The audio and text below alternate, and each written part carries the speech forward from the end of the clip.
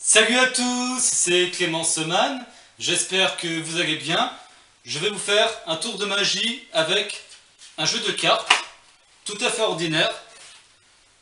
On peut donner le jeu à faire examiner par les spectateurs, ils verront qu'il n'est pas truqué. Je montre les cartes à vous, chers téléspectateurs, pour vous montrer que le jeu n'est pas truqué et qu'il n'y a pas de carton double.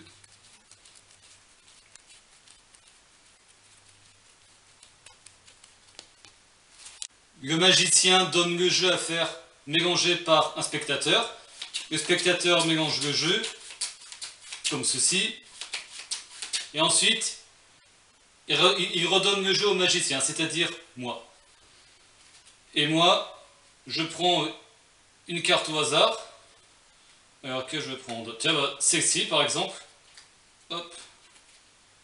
Alors je vais prendre cette carte-là.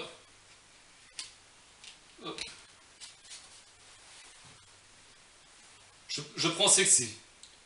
Il s'agit du roi de pique. Dans ma main, j'ai le roi de pique. Je le pose sur le jeu, comme ceci. Et ensuite, passe magique.